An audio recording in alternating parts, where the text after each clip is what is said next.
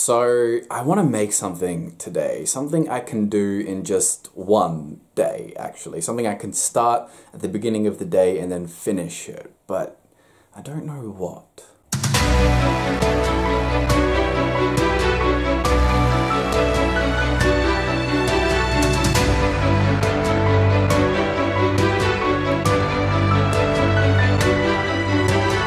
Oh, I know.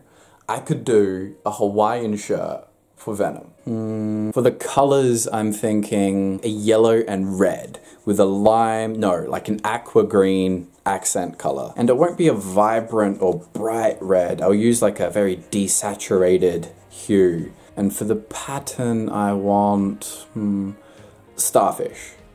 All right, where's Venom? Da, da, da, All right, and so now this flat piece of paper will be 20 centimeters around and then 8 centimeters long. I don't think I normally do it this way. No, it doesn't need to go around like this. It needs to open up and cover his shoulders like this. This is what you want. This is the back part here, and then this will wrap around the front, and then these parts meet on the side. All right, now one other thing I do with my models in this prototype phase is sometimes I'll just slap some tape around an open area to just indicate how how much extra paper needs to be there to cover the space. So now it's just time to cut this open and see what it will look like as a flat piece of paper.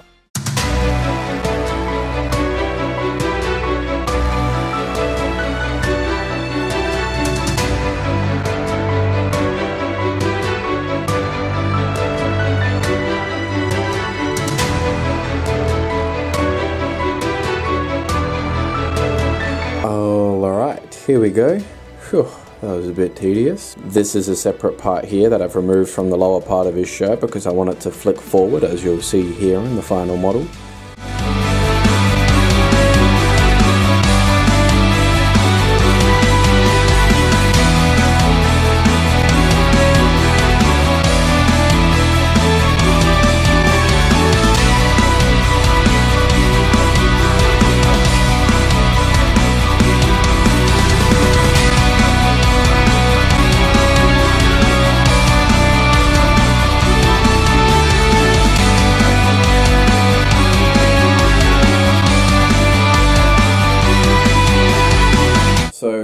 Which way does the paper have to curve to, for the collar?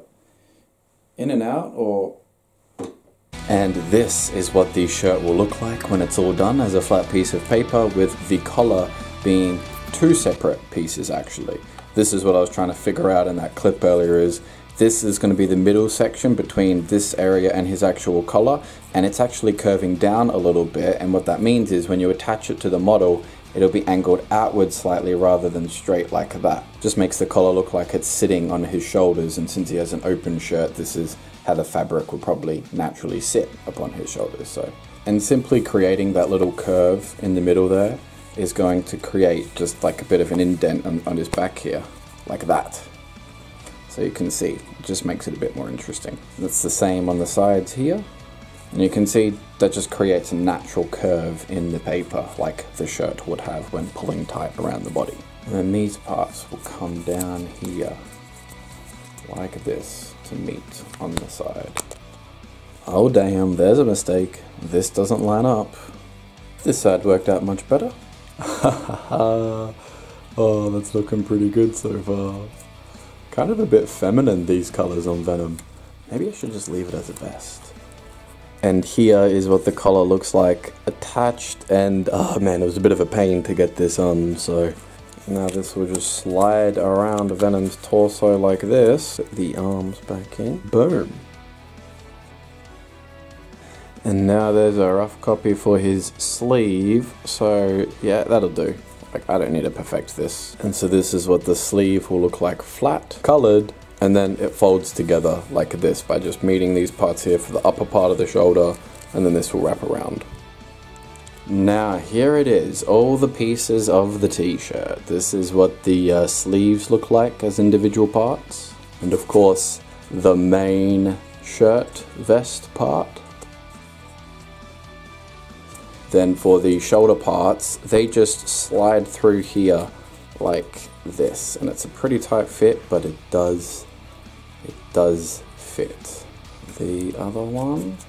And then these just slide into the body and when they're slid all the way in, they will hold the shirt in place.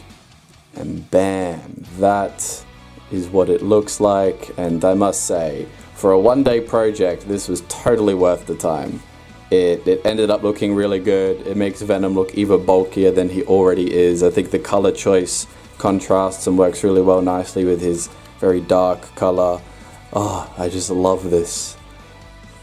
Yeah, this is real cool. This is really, really cool.